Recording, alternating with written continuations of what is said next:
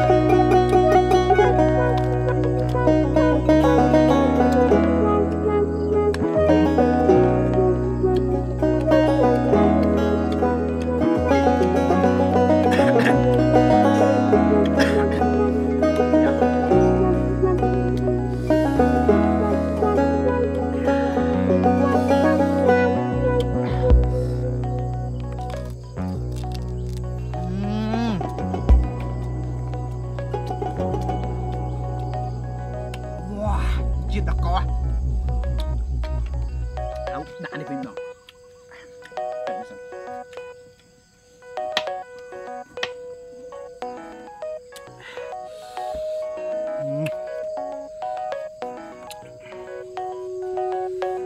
អត់មានក្បិនមុខពីរដាក់ចេះលឿន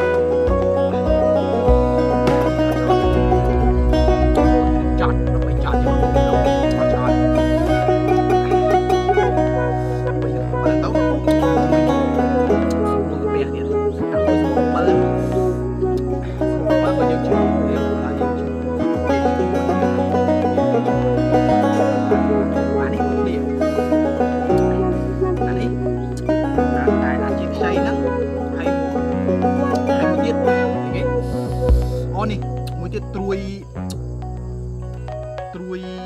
ត្រួយតបែកអាហ្នឹងក៏ថ្នាំកាពះដែរ